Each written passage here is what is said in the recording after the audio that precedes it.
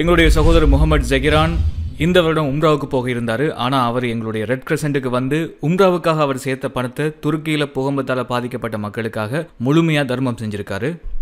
நீங்கள் ஒரு நல்ல பணிக்காக சிறந்த தர்மம் ஒன்று செஞ்சிருக்கிறீங்க. அழாதீங்க. நாங்கள் இன்னைக்கு வாங்கினதுலேயே சிறந்த தர்மம் இதுதான். எல்லா தர்மமுமே சிறந்தது தான் ஆனால் இந்த தர்மத்தை எங்களால் மறக்கவே முடியாது. இந்த பெரியவர் இங்கே இருக்காரு. இம்மையிலே மறுமையிலேயும் மல்லா இவருக்கு அருள் புரிவானாக. ஆமீன். நான் உம்ராவுக்கு போக இருந்ததுக்கு இடையில தான் இந்த பூகம்பம் நடந்துச்சு.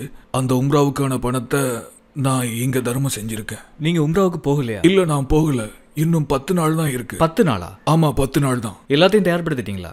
எல்லாத்தையும் தயார்படுத்திட்டேன். பூகம்பம் நடந்த சமயத்துல நான் எனக்குள்ளேயே சொல்லிக்கிட்டேன் நான் இந்த பணத்தை முழுமையா பாதிக்கப்பட்டவங்களுக்கு கொடுக்கணும். நீங்க உளப்பூர்வமா இதை செஞ்சீங்களா? நான் என்னோட இதயபூர்வமா தான் அல்லாஹ் உங்களுக்கு அருள் புரிவானாக.